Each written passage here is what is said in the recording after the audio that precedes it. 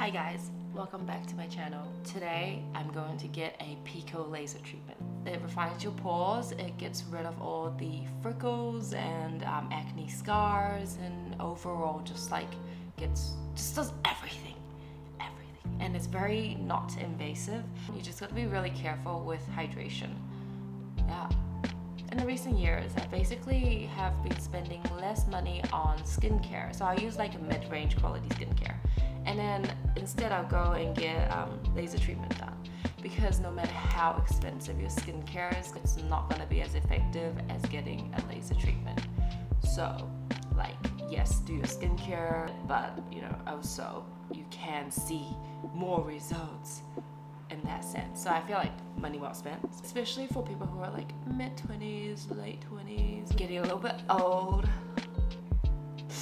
So yeah, I will tell you all about pricing, where it is, where I go, how it felt, so I'm coming back to Ronghua, this clinic, which is located in Taipei. My appointment was at 4.30 p.m. Reason why I chose the afternoon is because after the procedure was done, the sun will go down, which means my freshly lasered skin will not be exposed to the sun. So this is the fourth time coming into this clinic, and reason why I like this one is because they don't try and sell you stuff constantly. 很香。After signing all the papers, they took some photos of my skin. Lauren said it looked like I was trying to start a live stream. Next, they took me to this beauty room to cleanse my skin. Since I knew I was getting a procedure done, I only had some sunscreen on that day. It was very relaxing because all you had to do was lie there and she would just cleanse your face gently. It was so relaxing, I almost fell asleep. Next, she started applying this numbing cream all over my face so I wouldn't feel too much pain during the procedure. It had like a slight tingling sensation. The lady was very nice and used a very thick layer of numbing cream on my skin because I told her I was a little bit. Then I went to the waiting room for the numbing cream to kick in. I've had this numbing cream on my face for like 30 minutes now. I can't really feel my face. After that, she removed all the numbing cream. It was like frosting or unfrosting a cake. I ended up having the numbing cream on my face for like an hour because someone mucked up the appointment, so I really couldn't feel anything. And because of that, I told the doctor to just go ham. While he was lasering my face, I could smell burning. The doctor was very precise and he really took his time. So I had two separate types of Pico laser. One was for the freckles and the other one was for the pores. Basically, it sends ultra short pulse of energy without heat. It breaks down the pigments in your skin and then your body just naturally metabolizes it. A lot of people will use Pico laser to get rid of unwanted tattoos as well. The second laser head he changed to was for the pores, and that one was a little bit painful, especially at the edges of where the numbing cream got thinner. Right after the procedure, the lady put on a very cooling and hydrating mask. So I asked the doctor to go hard because I had my numbing cream on for like a really long time, so I was like, might as well. Also, I only bought one session. So he really went in there. Right now my face feels like it's burning actually really hurts. So I got two different laser heads. One is for Pico, which is for uh, freckles and brightening and um, acne scars. Second one is for pores and like little dips in your skin to smooth smoothen it out. So the second one he used was a lot harder than the first one and that one hurt. And now the numbing is like going away feel everything. I saw your face like. yeah, I was like twitching because like towards the ends, edges of where the numbing cream was, yeah.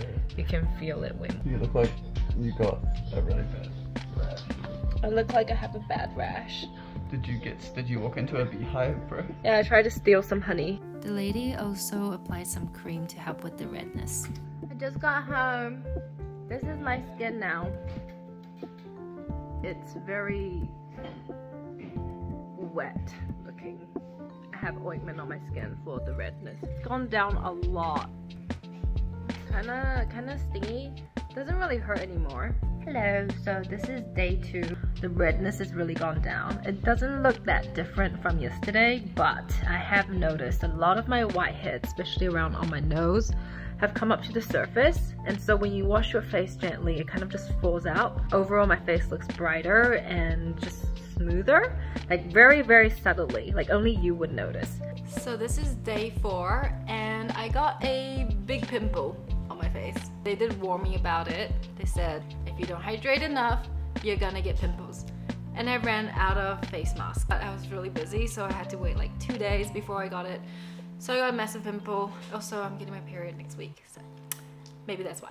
Definitely the texture has gone away. My skin looks a lot smoother. It feels a lot smoother. The pigments are still kind of there. They also said that it will come to the surface, scab, and then fall off. I'm going to share with you how much I paid and where I went and how to find a decent clinic.